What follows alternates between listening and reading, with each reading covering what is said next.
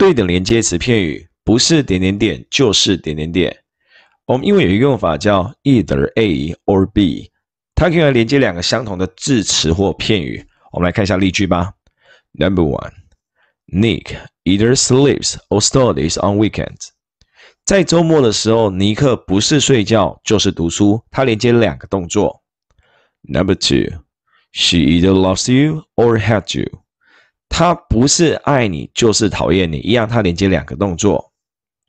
Number three。She is either drunk or mad。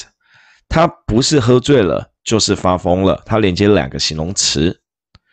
Number four, the houses are either too expensive or too small。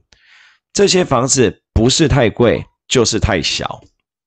Number five, she is either in London or in Paris。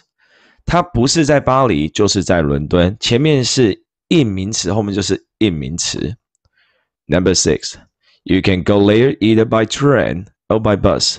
你可以去到那里，不是借由火车，就是借由大公车。前面是 by 名词，后面就是 by 名词，也就代表吼，它所连接的一定是对等的词类或片语啦。然后这有一个地方我们要稍微注意一下，如果它连接主词的时候，动词要依靠近的做决定。我们来看一下例句吧。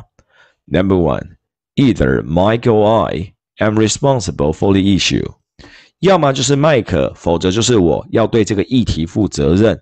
我们来看一下，它是连接主词，连接麦克跟 I，所以你的动词要依靠近的做决定。答案叫 I am。